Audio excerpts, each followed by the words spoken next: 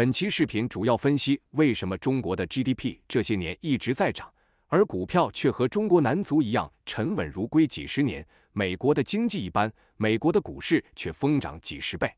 很多的经济学家写了几千万字和无数本书，加上众多股民的悲悲切切、凄凄惨惨控诉，什么中国经济这些年实际没有涨。什么中国是低端产业，出口赚加工费，什么固定投资太多，什么圈钱之类，没有一个说到关键点上的。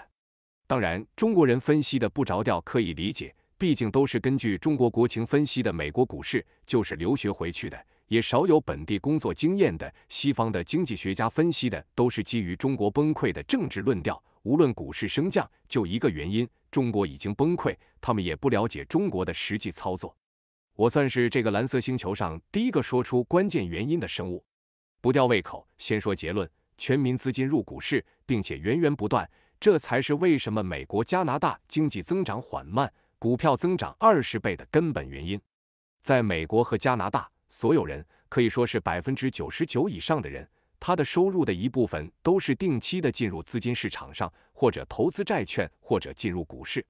举例来说，对一个正常上班的人。养老储蓄部分是自己的，加上公司按比例给的，一般是至少占到工资的百分之十，好的百分之十五，每到发工资时自动扣除，然后投资到指定的基金公司，进入资本市场、股市或者债券。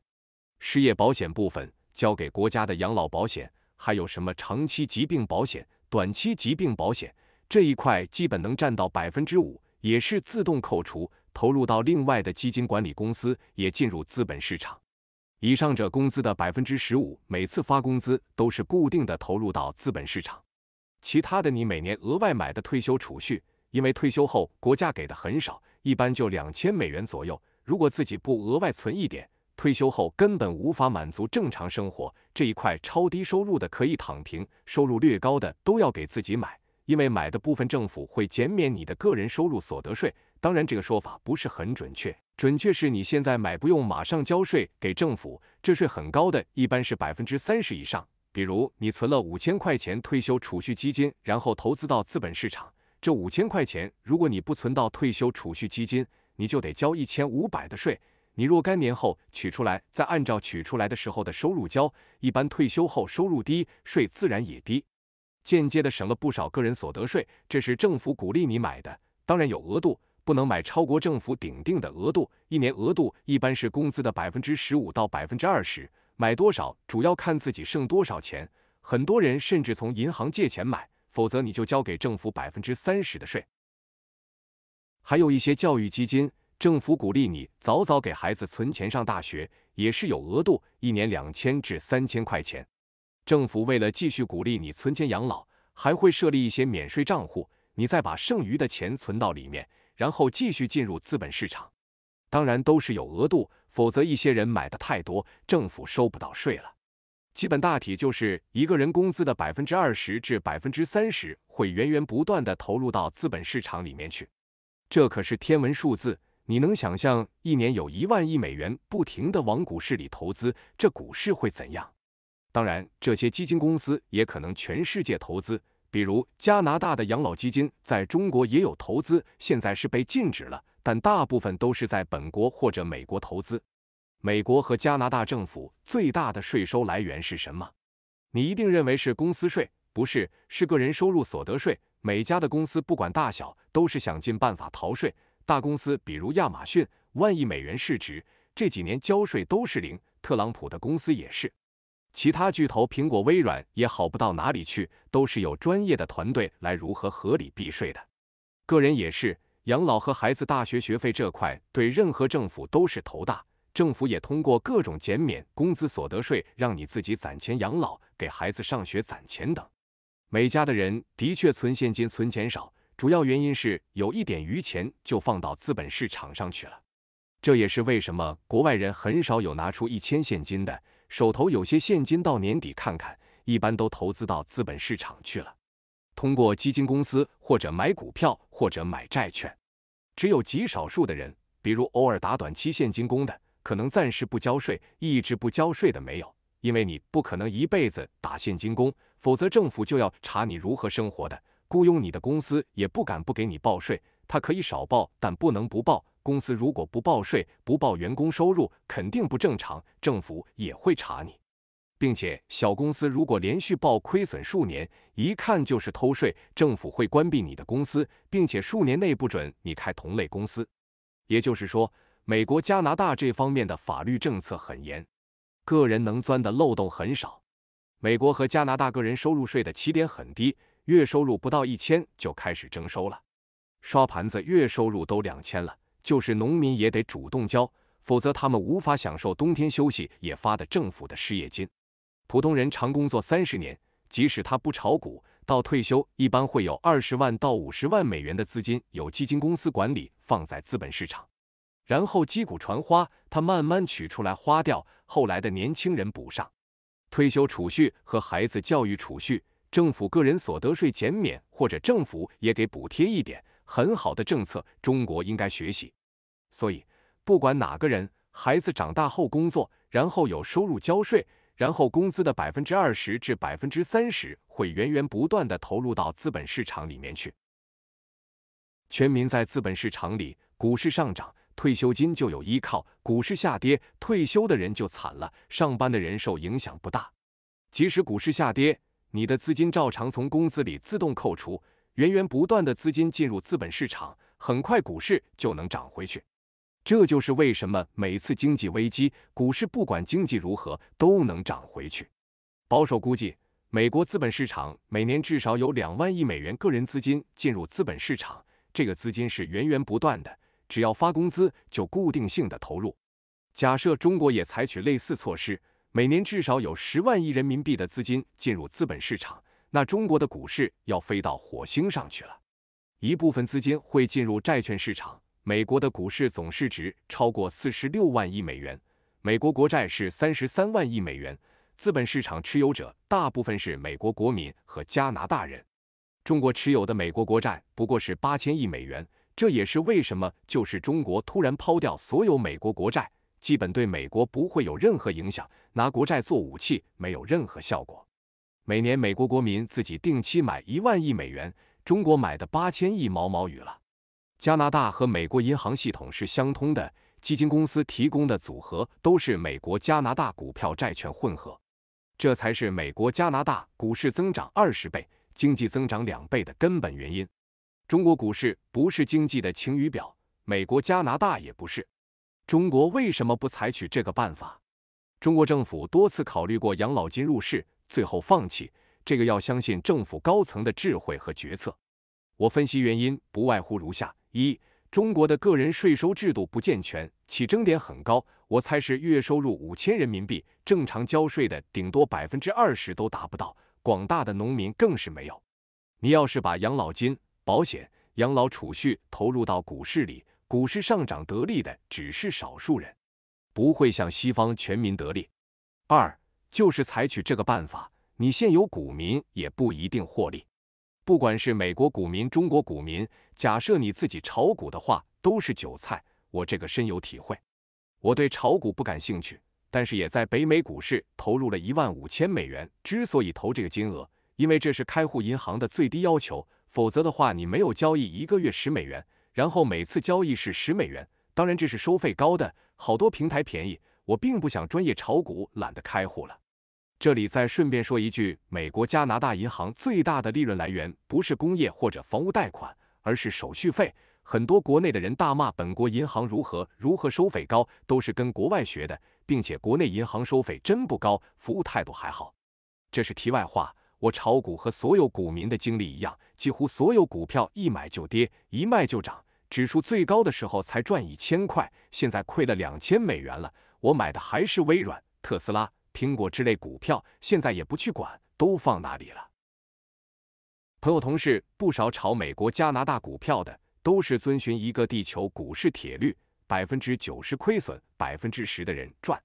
你个人就那点钱，根本无法和基金公司动辄上十亿美元相比。这个钱足够操纵股票了。每家股市基本百分之九十五以上的钱都是各种基金公司管理。所有的公司都是委托一个基金公司来管理员工从工资扣的那部分，员工工资扣的钱和公司交的钱都放那里，个人买的退休金也是委托基金公司管理。基金公司一般是把很多每家股票组合起来，根据风险高低归类组合供客户选择。因为这一般是跨度几十年，按公司发放周期一直买，加上自己每年年末额外买，这一类基本是赚的，就是随着大市场涨。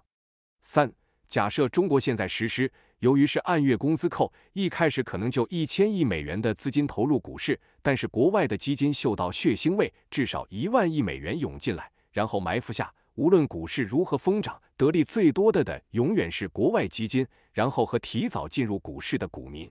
国外基金早晚得离开，一旦国外基金赚取一百倍利润离开，最后还是得中国股民接盘。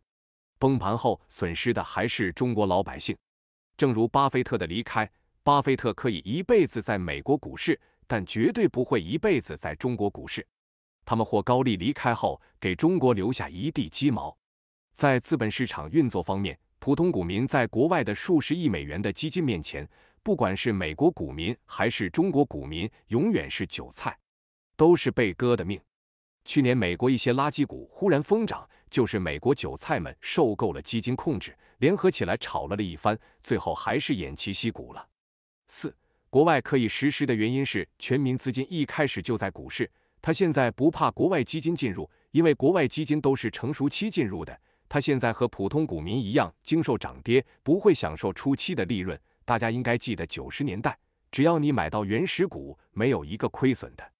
而如果现在中国采取西方办法，国外基金大举进入，而通常中国股民都是后知后觉，发现股票疯涨后，急忙进入接盘，国外基金获利自然是百倍以上。假设中国农民工人的退休金几十万亿美元已经在股市里三十年。自然也不怕国外基金现在来炒作，就是过来一万亿美元，然后离开，最大获利还是中国人。至少在上涨期退休，卖掉股票维持生活的会很开心。五，另外一个大的隐患是，国外的退休钱等全在股市上，一旦崩盘，国外的老百姓由于小政府社会习惯了，可以自认倒霉，该喝西北风喝西北风，该睡大街睡大街。中国的老百姓是依赖政府的，一旦退休金放股市没了，那绝对要上访闹事的。没有哪一个地方政府能接住这么多退休老人的冲击。我要是政府的决策者，也不会采取国外的办法。全民资金入股市，并且源源不断，这才是为什么美国、加拿大经济增长缓慢，股票增长二十倍，中国经济增长二十倍，而股票指数纹丝不动的原因。以后还会这样。总体来说，全民资金进入证券市场还是有优点的，可以部分解决老人的退休金问题，并且股市的大趋势肯定是上涨的。中国要是想实施，为了避免国外基金获取最大利益，把中国股市搞崩溃，还是有办法的。美国股市和债券最大持有者是本国或者加拿大人，这基本盘在，国外的基金就掀不起浪花来。中国的股市市值是十二万亿美元，面对一万亿美元国外游动基金规模还是不够大。中国可以全民分股票，为防止民众像俄罗斯人那样当草纸卖了，可以禁止数年内不能卖，把股票市值做到一百万亿美元以上规模。中国的工业规模是世界的一半，一百万亿完全可以。在这个规模下，任何游资进来出去都不会对股市有什么影响。然后全民资金入市。把退休金、退休储蓄、孩子上学储蓄放到资本市场，全民资金入市可以公开，也可以秘密，但是根据法规必须要公开的。这样的话，以后每年十万亿人民币的个人的钱进入股市或者国债，退休的人也源源不断的取出来，规模大到也不怕国外游资狙击，就形成了良性循环。如果保守的话，就采取现在的办法。国外游资，你别想赚到我的钱，也别想搞垮我的股市，免得一众股民跳楼或者老年人上街闹事。不过，尽管我在美国股市上被割韭菜，但是还是有独特的炒股经验一起分享。我感觉人的财运基本是天注定，天命不可违。财运分为正财和偏财，正财是上班搬砖加班等，偏财是彩票、股票、兼职跑出租或者 YouTube 做视频。要想炒股发财。你得先做好准备工作，沐浴更衣焚香祷告各路神仙后，一看看自己的八字是否有偏财。那些黑灯瞎火时辰出生的，一看就是早早起来干活搬砖的。二，看看自己的属相是否有偏财，如果是那些靠劳动别人赏口饭的，还是打消念头，比如狗啊、牛啊，基本没戏。三，看看自己的星座是否有偏财，如果你的星座没有偏财，趁早关掉股票账号。四，看看自己的住的地方是否养偏财，比如我。找过一个风水师，告诉我房子的偏财位在厕所里，我差点背过气去。这哪个财神能受得了？怪不得炒股亏钱，摸彩票中个五块，难度和五百万一样。做 YouTube 也少人看。后来我也就死了心，再也不动这些心思，老老实实上班搬砖，努力干活。根据中西高科技结合分析，如果你条件全部满足，那就不用去股市凑份子钱了。这是我知道的，美国和加拿大是这样，因为各个州、省政府政策有差异。以上数据可能略有不同，但大差不差。其他地方，比如香港、台湾、新加坡、马来西亚、欧洲，还有十年股市涨三十倍、股民都想移民的印度，我不清楚是否全民资金入股市。欢迎留言讨论。好的，本期视频就到这里，谢谢收看。